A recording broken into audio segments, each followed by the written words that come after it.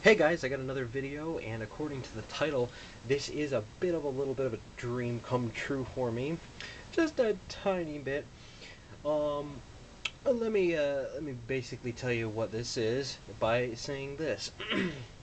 I watched a movie last night called uh, 007 James Bond Tomorrow Never Dies. Many of you have probably seen it. It's got Pierce Bronson, who I believe by far is the best James Bond, and uh, it's got uh, Michelle Yeoh, and that's the Bond girl in there, and it's a pretty good James Bond, in, in my opinion. Some people criticize uh, the guy playing Elliot Carver, the main bad guy, as not being that great. I don't know, I'm just a Bond, huge Bond fan, so you know, I deal with it. Well, anyway, at one scene in the movie, he uh, James Bond eh, is uh, going to Wai Lin's, Michelle Yeoh's, Wai Lin's uh, apartment, or hideout, or whatever you want to call it, high-tech hideout and at this point in the movie, he gets some new gadgets. Uh, one of the things he gets is a Walther P99, and there's even some. It's it's pretty interesting because there is actually some dramatic music uh, playing because it, it's kind of representing the end of an era, going from the PPK to the P99. So that's pretty cool. But before that, uh, James Bond also gets uh, something new, and uh, that thing that he gets is one of these an Omega Seamaster Professional 300 meter chronometer Bond edition. Uh, they actually, this watch has been made so popular by James Bond that they actually call this version of the watch the Bond version with the skeletonized hands and the blue dial and the blue wave, uh, blue wave dial there and the blue bezel. And yes, I finally got one. I sold my tag because I figured I can sell the tag nothing wrong with it, but you know, I just who doesn't want the James Bond watch? I even mentioned this in a few videos ago that I wanted a James Bond watch and then uh, the Rolex Submariner, but I mean, come on, this is the James Bond watch. Anyway, I sold the tag and I bought one of this used, and it's in surprisingly good condition for being used. Um, I got it today, and the only problem, quote unquote, problem right now is it's running slow. It's running a little bit out of uh, it's running a little bit out of the, the COSEC COSC parameters. Uh, it's a little bit slow. But considering that, if you can see back there, down there eh, where the watch case meets the watch back, uh, it's never ever been opened, so it's never been serviced. it's never been serviced, and this watch was purchased in uh, 1999. So considering that it has never been opened and serviced, and it's only running not that slow, it's it's definitely running slow, but it's not, you know, it's not like a couple minutes a day off or anything like that. Uh, I say that's pretty good and I think I'm actually going to have it sent either to Omega or if I can find a local jeweler that I trust enough to do it and, and get that perhaps serviced or regulated or whatever needs to be done for it. But anyway, this is the Omega Seamaster 300 meter professional dive watch. Um, I personally believe, like I just mentioned there, that James Bond, that Pierce Bronson makes the best James Bond, and in Goldeneye, the first uh, movie that Pierce Bronson was actually in, he had this watch, but he had the quartz version. And in Tomorrow Never Dies, he switches over to the mechanical version. This version right here. Certified chronometer. Got my focusing stick here to help me out. Come on. You have a purpose, and why aren't you fulfilling that purpose? Come on! There we are. It has that beautiful blue wave dial there that the Omega Seamaster is known for. And it has some of the features of this watch. It has a 120 click, very smooth bezel here. Ugh, the only problem is, as it's been mentioned before, is that Omega uses their scalloped bezel here, so it's a little bit hard to get a grip on. But you, it's not impossible. it's just a little bit hard to get a grip on. Uh, it uses Omega's own uh, 1120 movement, which is based off an ETA movement, but heavily customized by Omega. It's ETA's best movement, and Omega takes it and adds it adds two jewels to it, and they plate some stuff. Uh, and they actually make it a very very high end movement. It, it's running at that movement, Omega's 1120 movement, caliber, or whatever you want to call it, is running at uh, 8 beats per second, which is the same as a Rolex.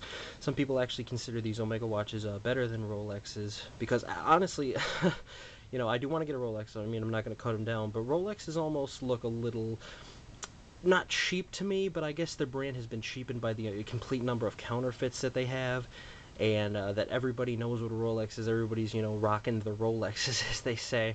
So I mean, Omega is different, and and it's James Bond's choice. That's hundred percent the reason I uh, I wanted the Omega Seamaster. And finally, a little bit of a dream come true here. I am the owner of the Omega Seamaster. Look how beautiful that sweep second hand is. I can't get over that. Uh, so again, hasn't been serviced, but I, I, I think I will break down and go ahead and buy a service for it because I think that I will be sticking with this watch for quite some time now. Uh, more features of it, like I said, it's got the, the blue unidirectional 120 click bezel, very smooth. Like I said, it's hard to turn, but it's also very, very smooth to turn.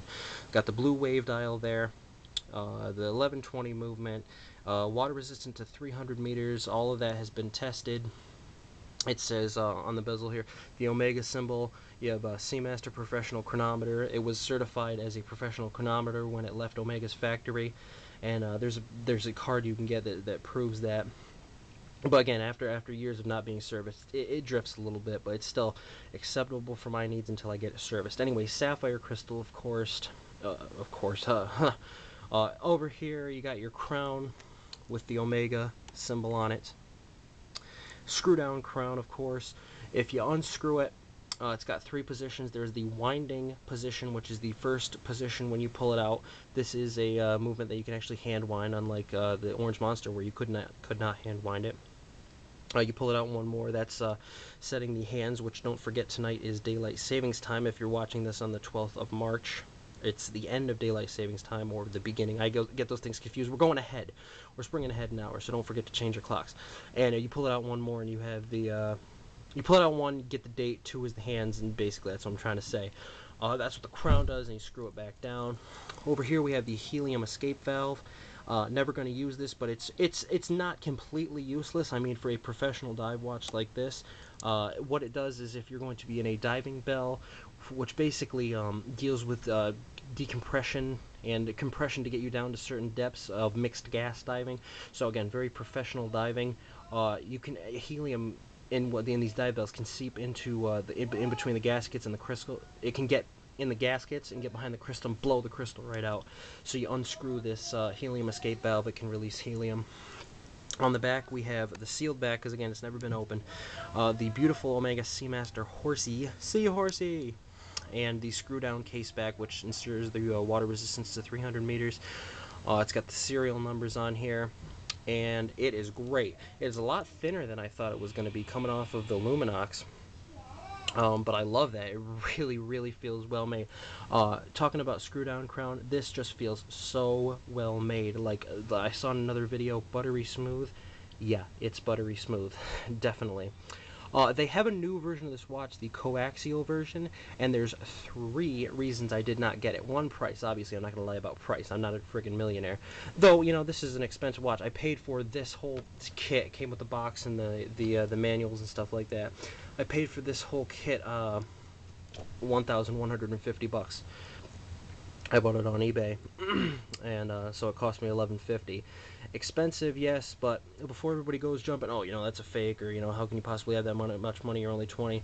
Um, I'm not going to say my, my whole family has been successful and everything like that, but, you know, I, I graduated college when I was 19. I only went for two years, but I still graduated college when I was 19 and got some got some pretty good paying jobs for for my current situation. And I still live with my parents because I'm only 20 years old.